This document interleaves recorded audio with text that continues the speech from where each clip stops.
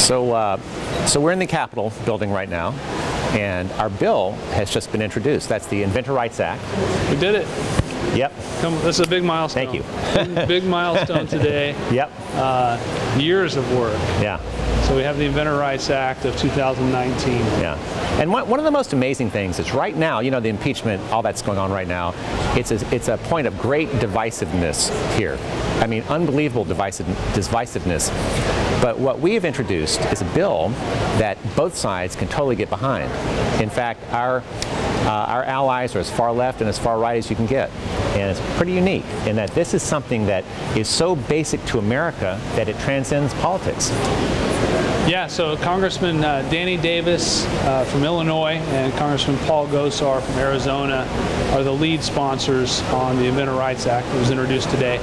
And so uh, this is great. So we're going to be uh, sharing this information with inventors in all 50 states. We want to educate. We want to put this out there. This is a great step forward to getting rights back for inventors. So yes. Uh, we work closely with uh, both these congressmen and many others as well who are going to mm -hmm. join uh, hopefully early in 2020. So, yeah, and, then one of the biggest things we're going to need is inventors around the country calling their representatives and their senators and telling them they want them to get behind this bill. And uh, that's really going to be a big effort that we have ahead of us. Yeah, so 2020 Inventor Rights Act is going to move forward. We're going to go have a good holiday, celebrate this achievement, and then uh, get back to work. We've, we've got to save uh, save the patent system, uh, make inventors, uh, give them protection for their rights. Yeah.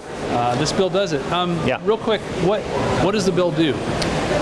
In a very basic sense, what the bill does is it enables the inventor, no matter who he or she is, no matter what his or her status is, whether you have financial status or not, uh, in America, when you patent something, you invent something, you patent it, you're, you're, supposed to be able to own it and be able to determine what happens to it and with it, whether you have a startup that's a disruptive startup that competes with huge vested interests that wish they had come up with it, or maybe you want to license it to somebody, but, but they shouldn't be able to just take it from you.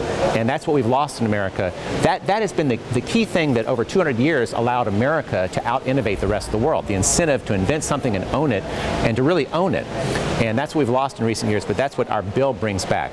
You'll be able to invent something, and then it will be yours to determine what happens with it next. And if you want to have, even if the, the most powerful company in the world wants to take it from you, uh, they'll have a very hard time doing it, and I would like to say it, they won't be able to. The, the details are on usinventor.org.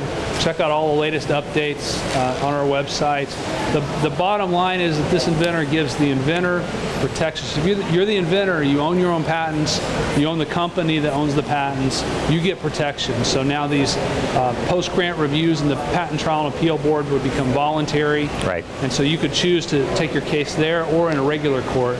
It would make uh, uh, profits, uh, it, would, it would return all the profits from the infringer instead of a reasonable royalty we would allow profit disgorgement, just like in copyright and trademark. If you steal something, you don't get to keep it. So it's a real common sense, uh, narrow bill that focuses on inventors. And so it really narrows and focuses the issue. It's something everyone can get behind. Yep. It cuts through a lot of the, the controversy around patent law. So yes. everyone thinks inventors are important, and this kind of allows us to, to, to push that cause forward. So, yes. Thank you. Awesome. Good job. Exciting day. yeah, great. Thanks, Randy.